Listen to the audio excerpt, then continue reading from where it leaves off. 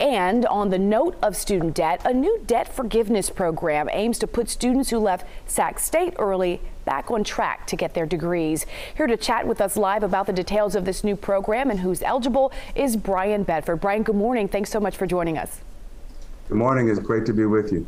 Let's talk about this new program. Uh, tell me a little bit more about it. What what does it entail? So we're excited about the launch of Hornet Debt Reset. It's really just another tool in the tool belt of the effort of uh, an initiative that we're calling Hornet Attain, which is Sac statewide initiative to get folks that have either stopped out or dropped out of the institution to come back and complete. And so uh, what we're doing, the institution has committed $1 million to, uh, to waive fees uh, associated with people coming back and completing. So we're just really excited about the effort and, and we're looking forward to the response. And so you mentioned this $1 million, that's kind of the cap on the program, but how do folks qualify? What do they need to do to be able to qualify to apply? Absolutely. So the basic qualifications are folks need to have, uh, when they left the institution, have a GPA of at least 2.0. Um, they cannot be or have not been enrolled in the previous two terms, and they essentially left in good standing with the institution. Uh, those are the basic eligibility requirements, uh, and then you have to go through the application process. But um, again, we're excited to serve folks in this in this way and, and hope that it, it's a small piece of helping folks come back and complete. You know, Brian, I read that this could potentially impact some 400,000 adult learners. Why is this so important right now?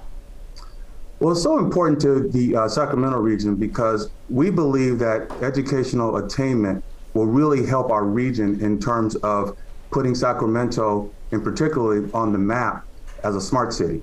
Um, educational attainment is really attractive to prospective employers.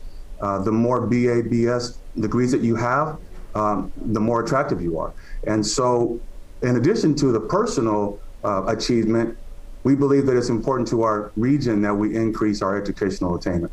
And this is, again, this is one small piece in helping folks come back and complete.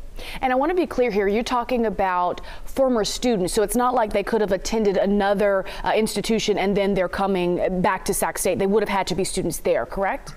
Absolutely, absolutely. This is about uh, former Sac State students. And talk about how long they have to apply for their program. Well, there is no min max. We're going to keep this open until the funds run out. And so we've got $1 million that the institution has committed to this. And, um, you know, the average debt is somewhere around $800 or so. So we're hoping for and expecting a lot of folks to apply for this and, and come back and complete their education here. Brian Bedford, thank you so much for joining us this morning. A lot of good information, especially at a time uh, when a lot of people are thinking about, you know, student loan debt, and uh, the government is talking quite a bit about that. So I appreciate you being on to uh, talk more about this program this morning. I appreciate you having me. Thank you.